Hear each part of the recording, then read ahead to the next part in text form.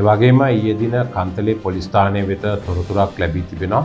එම තොරතුර ලැබී තිබෙන්නේ අලුත උපන් බිලිදියක මරා ගිනි තැබීමක් සිදු කිරීම සම්බන්ධයෙන් මේ සිද්ධිය සම්බන්ධයෙන් කන්තලේ පොලිස්ථානය විසින් විමර්ශනයක් ආරම්භ කර තිබෙනවා.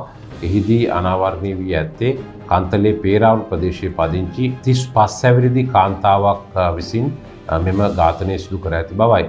ඇය දරුවන් තිදිනෙක්ගේ මවක් වන අතර මීට වසර හතරකට ඉහතදී ඇගේ ස්වාමිපුරුෂයා මැද පෙරදිග රටක රැකියාව සඳහා ගොස් තිබෙනවා.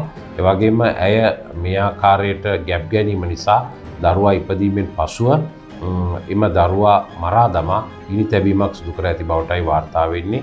ඊයේ සවස් කාලයේදී ගැහැණු දරුවකු ඉපදී ඇති අතර ඉන් පසුව ඇය එම දරුවා උපන් විජසම ඝාතනය කිරීමෙන් අනතුරුව ගිනි තබා තිබෙනවා. මේ සම්බන්ධයෙන් කන්තලේ පොලිසිය විමර්ශන ආරම්භ කර තිබෙනවා. එවගේම අදාළ කාන්තාව අත්තඩංගුවට ගෙන තිබෙනවා. මීට අමතරව එම සිද්ධිය සම්බන්ධයෙන් මහිත්‍රාත් පරීක්ෂණයක් සහ පශ්චාත් මරණ පරීක්ෂණයක් අද දිනේදී පැවැත්වීමට නියමිතව තිබෙනවා. breaking.lk